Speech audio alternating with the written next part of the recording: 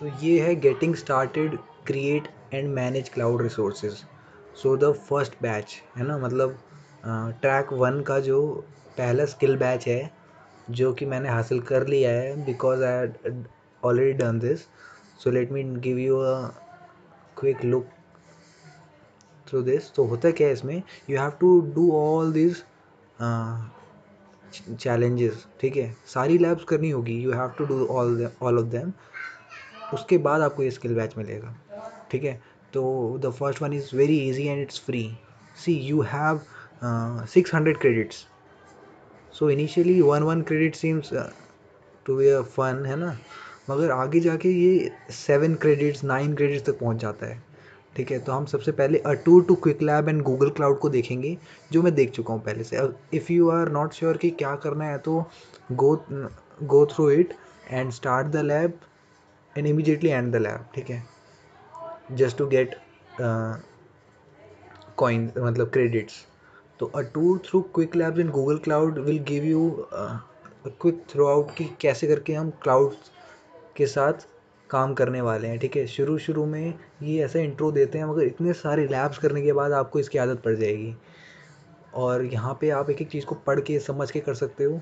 कि कैसे करके इसमें सारा काम होता है you have to click over here to start the lab and you you will be given forty five minutes and be sure कि पहले ही पढ़ लो ये सारा then you have to start the lab ठीक है? शुरू में ही लैब स्टार्ट मत कर देना क्योंकि इट टेक्स टाइम और ये फ्री है तो आ, कोई बात नहीं चलेगा। मगर आगे जाके क्रेडिट्स की कॉस्ट बढ़ने वाली है तो ध्यान देना इस बात का। और देखना प्राइस क्रेडिट जो है वो एक यूएस डॉलर होता है। ठीक है the more credit you purchase the more credit यानी जो आप फ्री में कर रहे हो ना, जैसे नाइन क्रेडिट है ना, जो नाइन डॉलर के बराबर है, यानी काफ़ी वैल्यू है। तो गलती ना हो पाए, ठीक है? ख़रीदने पे आते हैं तो फिर ये बाय करना होता है, मगर मुझे लगता है कि आप कर पाएँगे ये, क्योंकि ये गूगल कोड का समय मतलब गूगल क्लाउड थर्टी डेज़ का चैलेंज चल रहा है तो स्टूडेंट्स के लिए एक तरह से पहले से ही सिक्स हंड्रेड क्रेडिट्स मिल रखे होते हैं। Then you have to solve this अभी मैं कुछ नहीं कर सकता क्योंकि मैंने स्टार्ट नहीं करी लैब मगर ये आसान है, ठीक है? अगर आप उसको सॉल्व भी ना भी करें ना, आप जैसे इसको स्टार्ट लैब एंड लैब तुरंत कर दें, तब भी काम चल जाएगा।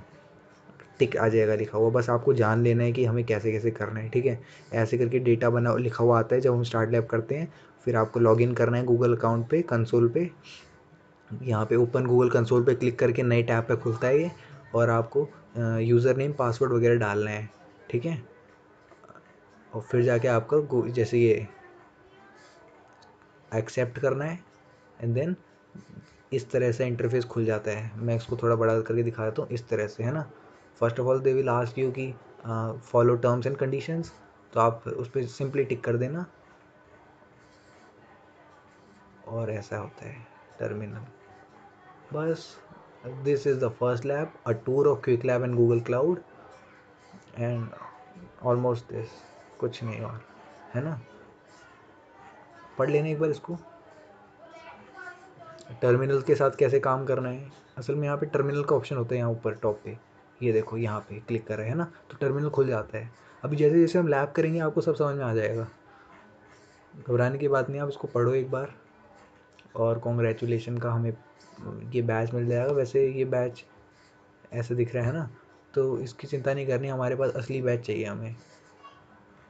ठीक है, जो कि सारे लैब करने पे मिलता है, यानी स्किल बैच चाहिए हमें। Thanks for watching till now और अभी हम आगे भी करेंगे, ठीक है? सारे लैब्स को गो थ्रू करेंगे।